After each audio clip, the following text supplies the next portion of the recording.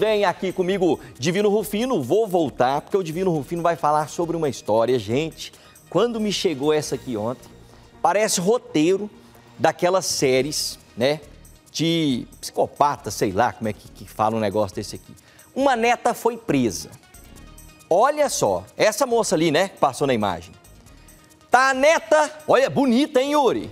Hoje, inclusive, quem está comandando os meus pensamentos aqui, a voz que fica falando no meu ouvido aqui, é Yuri Henrique. Yuri Henrique está aqui, né, na edição do Balanço Geral. Gente, essa história é absurda.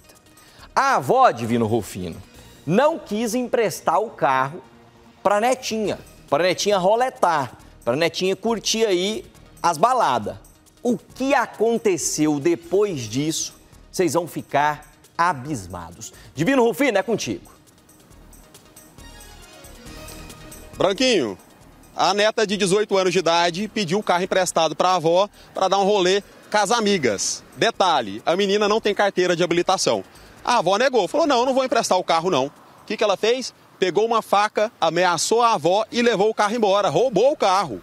Depois, na maior cara de pau, ela colocou o carro para vender nas redes sociais. Vamos saber como termina essa história? Quem vai contar pra gente é o doutor Danilo Martins, da Delegacia Estadual de Repressão a Furtos e Roubos de Veículos Automotores. Doutor, boa tarde. A avó, na sequência, acionou a polícia. Boa tarde, exatamente. Essa história começou no domingo à noite, quando essa autora suspeita solicitou o veículo da avó, pediu que a avó emprestasse o veículo para ela ir numa festa. A avó recusou por, por, pela altura não ter carteira de habilitação. Então ela ficou agressiva, passou a agredir fisicamente a avó, enforcou a avó, é, se apoderou de uma faca e ainda ameaçou a avó com essa faca e veio a tomar esse veículo. É, saiu do, de casa com o veículo no domingo à noite, é, utilizou o veículo por, por, um tempo e no dia seguinte ela anunciou esse veículo nas redes sociais para vender este veículo. Essa neta não morava com a avó e aí não voltou para casa, ficou em casa de amigas nesse meio tempo aí. Ela morava com a avó já há cerca de três anos, mas após subtrair o veículo, ela não retornou é, mais para casa da avó, ficou na casa de terceira, na casa de amigas nesse período. E começou a tentar vender o carro pelas redes sociais. A avó procurou a delegacia, registrou a ocorrência e aí a nossa equipe fez diligências, conseguiu é, localizar a autora no setor Campinas, onde ela foi abordada e em poder dela estava a chave do proximidades, conseguimos localizar o carro que estava escondido em um, em um, estacionamento ali nas proximidades. E o veículo foi apreendido para ser restituído à real proprietária. O que, que essa menina falou no momento da prisão, doutor? Ao ser interrogada formalmente, ela ficou em silêncio, mas ali no momento da, da prisão, ela negou inicialmente que tivesse pego o carro, mas depois, com a diligência policial, não teve mais como ela negar e por isso ela acabou depois ficando em silêncio. Delegado, ela foi presa, mas já está solta. Ela foi presa, foi autuada em flagrante pelo crime de roubo, por ter subtraído esse carro da própria avó mediante violência e ameaça.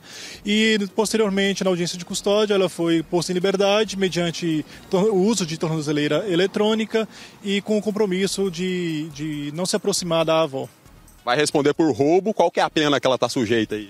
Agora ela vai responder por roubo e com uso de arma branca para fazer ameaça, então a pena que vai até 13 anos de, de reclusão. E se chegar perto da avó, a situação dela piora. Sim, se ela descumprir essa medida cautelar de aproximação, ela pode voltar a ser presa. Doutor Danilo Martins, muito obrigado pela entrevista. Tá aí, Branquinho, o roteiro de, de filme mesmo, né?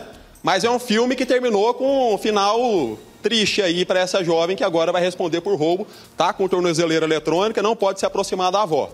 Meu Deus. Cara, eu que praticamente fui criado pelas minhas avós, né, ali na Campininha, minhas duas avós moram até hoje lá. Dona Alice e Dona Elzira, minha avó Dona Nega. É, rapaz, a menina fazer um negócio desse é absurdo. Meu pai amado. Ela foi pega em Campinas. Ela foi pega em Campinas. Agora, eu quero saber do delegado, Divino, é, onde é que ela cometeu o crime contra a avó. Mas eu vou pedir antes pro Elias parar essa imagem onde tá aí, ó. Para. Para e coloca no telão aqui pra mim. Não é na foto dela, não. A danada é bonita. Mas olha só. Vamos ler junto? Elias, isso aí é um Fiestinha modelo novo, não é? Um carro, um, carro, um carro desse aí tá na faixa de uns 50 conto, não tá?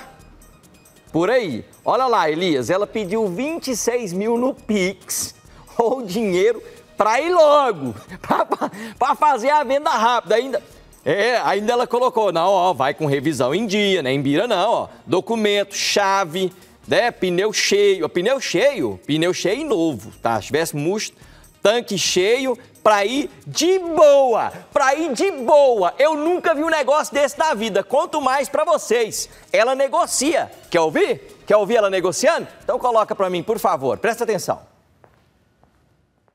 Policial falando que quer o meu carro, esse carro é meu. Deixa eu te falar.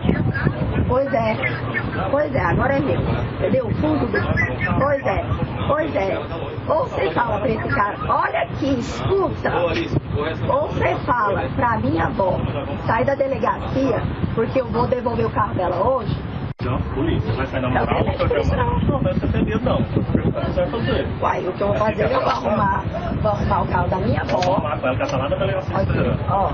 Amanhã eu devolvo o carro e só mostro na casa se você retirar a. Então, Ela me entregou pra abusadora. Então, sua avó Sabe tá lá agora. Você vai e só põe encontrar ela agora. Pois é, agora vocês vão perder minha guarda. Eu já tenho dois anos, Verônica. Você nunca foi minha mãe. Quando meus irmãos nasceram, você me abandonou. Você, você me abandonou. Você me abandonou dentro de casa. Minha avó fez eu passar fome porque eu não comia desgraça no quarto. Eu vou ter que ligar pro menino, não sei cadê. Presta atenção. É hoje que você vai passar meu nome pra Deus e o mundo. Você não é minha mãe. Você me abandonou. Vai cuidar do seu filho, vai cuidar da sua filha. Você me abandonou quando meu irmão nasceu. Eu passei fome dentro da minha casa. Ah, vocês não botam a mãe em mim. Vocês é polícia, mas vocês é homem. Vocês botam a mãe em mim, nós vai resolver o problema aí. Pois é, pois é. Ô, olha, olha, ô, bom. Tá escutando? Essa pra lá. Idiota. Tá. Deixa eu, deixa eu te falar uma trem. Você sai da delegacia agora, ou você perde. Meu pai amado, o que que é isso? Ainda quis justificar, falando pra mãe, você não é minha mãe, você não me criou. Aí você vai lá e rouba, e tenta matar, e vai com a faca pra cima de quem te criou. Meu pai, onde é que a gente tá? Divino Rufino, que loucura é essa? Onde é que ela, que ela roubou a avó? Doutor, a jovem foi presa em Campinas, mas o crime que ela praticou contra a avó foi no Bueno. Isso, é, a residência da, da avó e da, da autora também era no setor Bueno e a prisão e a apreensão do veículo foi no setor Campinas, ambos aqui em Goiânia. Essa menina já tinha problemas com a avó? Existem relatos nesse sentido? Não, não houve nenhum relato de agressão física, mas que já tinha tido atritos, agressões verbais, atritos são tão somente verbais entre as duas. Tá aí, Branquinho, mora com a avó e não respeita, né? Droga na Tá parada. Ela pede falou. benção e respeita e ama e trata com muito carinho. Que pena que não é assim em todos os lares. Porque quando é assim, isso aí é pra trocar por droga, só pode, não tem lógica não. Ela falou pro delegado se tinha droga na parada, por que que ela queria vender o carro rápido desse jeito? Existe algum indício? Ela falou pra vocês por que, que ela pretendia vender o carro assim com tanta rapidez? Ela teria envolvimento com droga? Vocês conseguiram observar alguma coisa nesse sentido? Não, ela não declinou o motivo de ter resolvido vender o carro. A gente acredita que seja até pela vontade de se vingar da avó que não quis emprestar o veículo. Ela pegou a força, usou quando queria e daí resolveu eh, vender esse veículo. Ela deve ter pensado assim, Branquinho, já que ela não me empresta o carro, ela também não vai andar. Meu pai amado. Divino Rufino, muito obrigado, agradeça ao delegado aí. Daqui a pouco a gente volta, meu irmão.